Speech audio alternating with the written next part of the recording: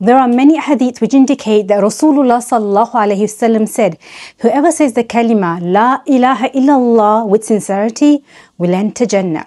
So I recite this kalima hundred times every day. Is that a guarantee I will enter Jannah? I think we need to understand this kalima a little bit more. Within this kalima, there are two very important things belief in Allah subhanahu wa ta'ala and loving Allah subhanahu wa ta'ala.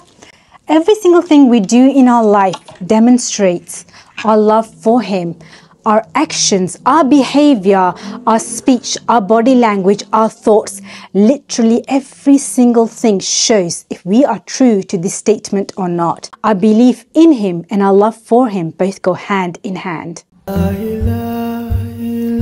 Entire Islam is based on this one kalima.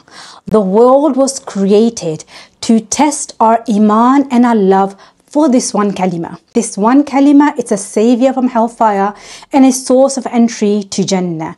It distinguishes between good and bad, iman and kufr, and this kalima will determine your eternal happiness or grief. So in today's video, we are going to focus on, do we have those signs which indicate that we are sincere in our love for Allah subhanahu wa ta'ala? And do we see those signs in our daily life or not? For this one kalima, La ilaha illallah, we turn in the direction of the Qibla. We perform wudu, we pray salah, every ruku, every sujood, dhikr, fast, all forms of worship indicate our love for Allah subhanahu wa ta'ala.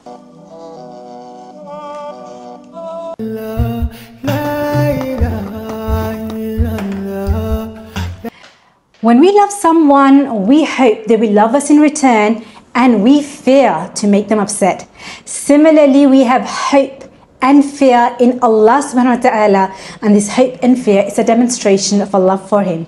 So we hope that Allah subhanahu wa ta'ala will accept our du'as. And we fear to make him upset. And for that we stay away from all kind of haram things.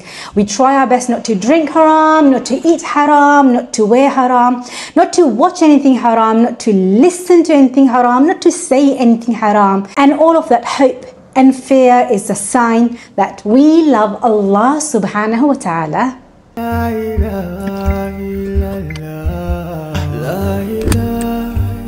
when we love someone and we are sure they love us too, then we place full trust in them.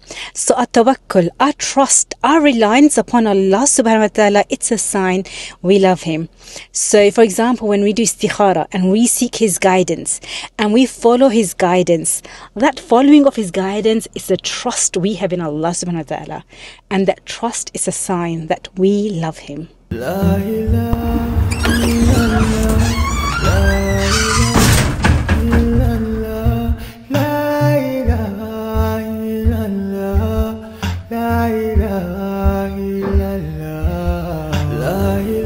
this dunya, when we love someone, over time we get influenced by them and we start to like everything they like.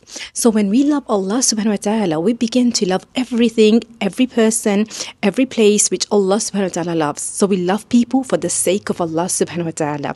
We love going to His masajid. We begin to enjoy listening to Islamic content.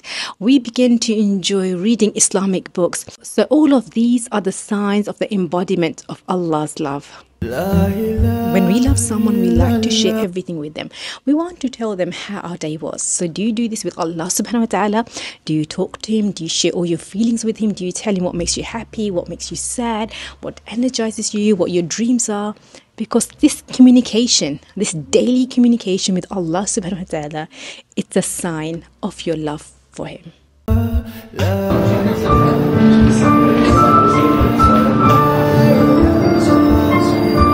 In our daily lives, we are always seeking opportunities to show our love for Allah subhanahu wa ta'ala. So when we take an oath, we take it in His name. When we make a mistake, we turn to Him in repentance. When we feel we are in a difficult moment, we seek His support. When we are happy and we want to rejoice, we rejoice with Him through gratitude and hamd. And all of these are signs that we love Allah subhanahu wa ta'ala.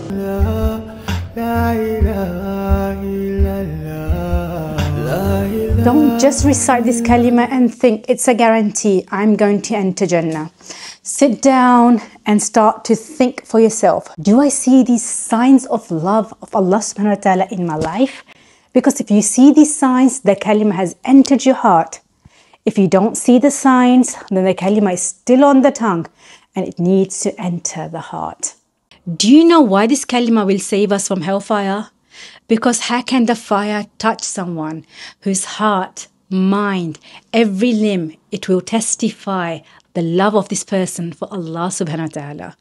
The one who loves Allah subhanahu wa ta'ala, that person, fire cannot touch them. Hence, they will enter Jannah. Try to understand the real value of these words, what they mean, how can we embody them, and the real fruit of this kalima. It's going to be the day we will get to meet Allah subhanahu wa ta'ala. The one who we loved in this dunya without seeing him, the ultimate reward will be the day when we get to see him. Finally, all I'm going to say is search for Allah subhanahu wa ta'ala's love in your everyday life. Every act of love, every sign of love, it's a step closer to seeing Him on that day. And it's also a confirmation that He loves you too.